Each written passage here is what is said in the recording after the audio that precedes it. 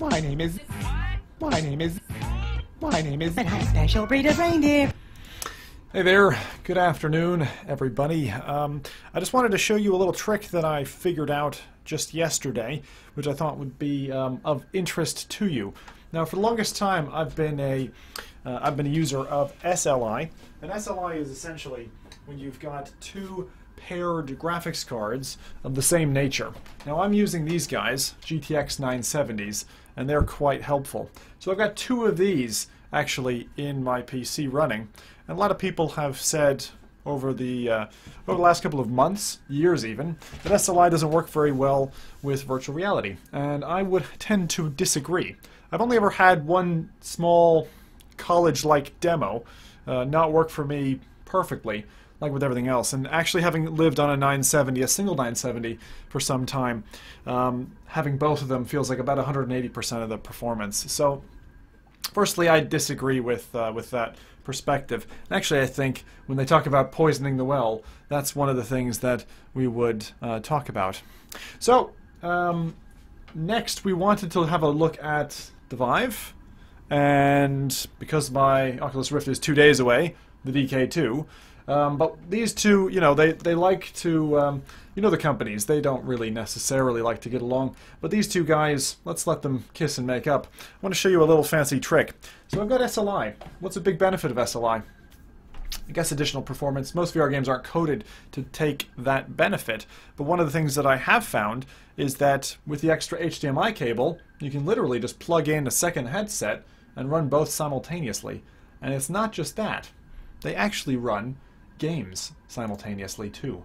So if you have a friend and they're over and you're like, I'd like to do some Lucky's Tale, you know, uh, look at my little dude.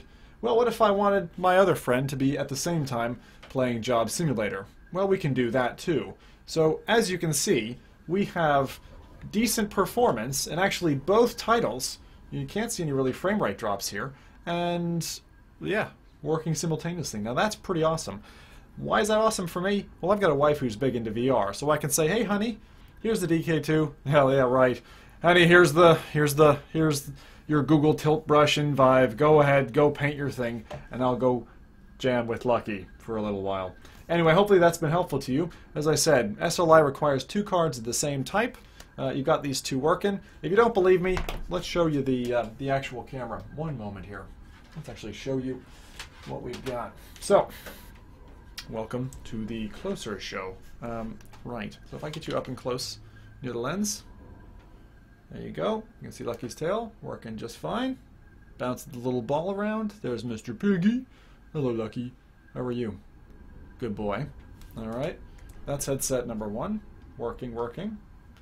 All right, and next, let's take a look at the Vive. In the Vive, Job Simulator. There it works. You can see the pop-up happening in the and everything. So there you go. It's all it's all working. So that's my little wrap up. There you go. Two HMDs, both running the same stuff. I thought that was pretty special. Hopefully you do as well. And you know, what can I say? If you like VR, come check us out. Zimtok5.com. See you soon. Ciao. My name is. My name is. My name is. And I'm a special breed of reindeer.